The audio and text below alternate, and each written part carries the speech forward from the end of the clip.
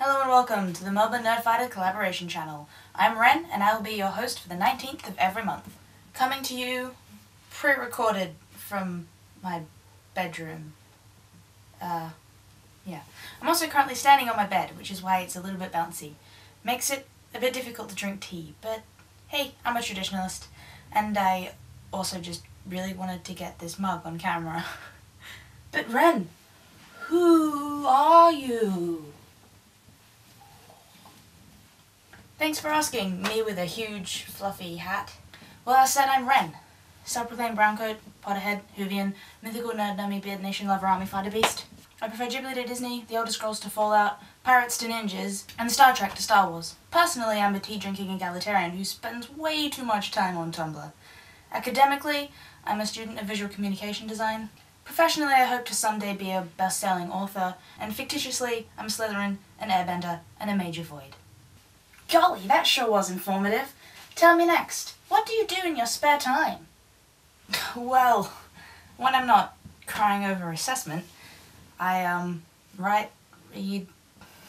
You know, I could list a whole bunch of things that I like doing, hobbies, as you might say, but it pretty much all boils down to just creating things and telling stories.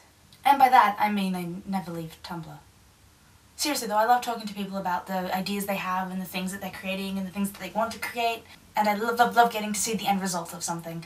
I, one of my favorite things is just having this idea and then following it through from conception to execution to just putting it out into the world and seeing people's reactions to it.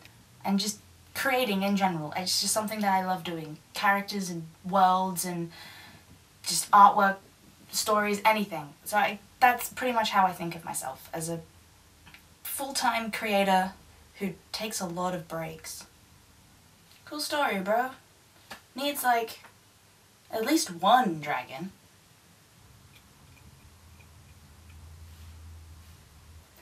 Right. So, other than serious lack of dragons, what can we expect from your videos? Okay, fine. You want a dragon? I will get you a dragon. I will go to the... the, um... can I get a dragon?